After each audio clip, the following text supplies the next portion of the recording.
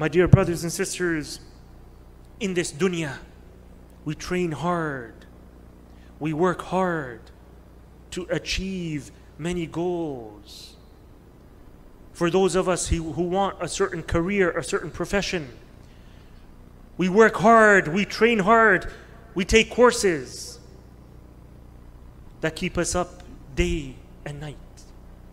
For those of us who want a nice body, we go to the gym, we train day in, day out for a goal that we have in mind.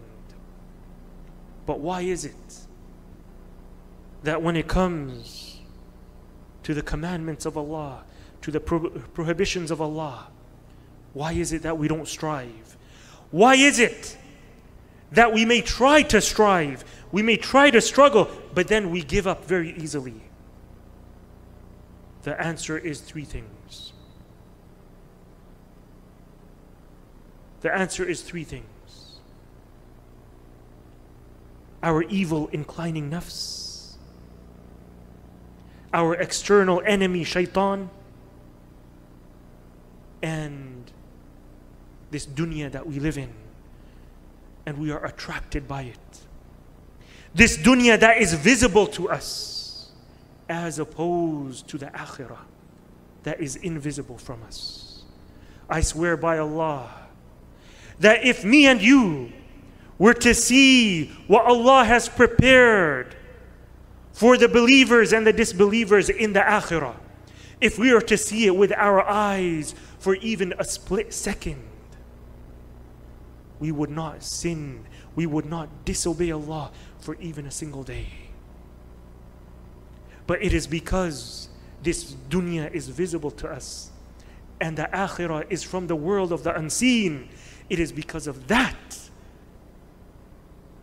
that striving against our nafs and struggling to perfect ourselves, it is because of that that it becomes difficult. And it is because of that that the majority of us, we give in and we give up. We ask Allah subhanahu wa ta'ala to make us from among those whom He subhanahu wa ta'ala said, والذين جاهدوا فينا لنهدينهم سبلنا وإن الله لمع المحسنين Indeed, those who strive and struggle for our sake, they strive and struggle against their nafs. Then we, it is Allah's promise, we will open up for them the ways in this dunya and in the akhirah. We ask Allah subhanahu wa ta'ala to make us from among them. We ask Allah subhanahu wa ta'ala to make us to see our shortcomings and to work against them.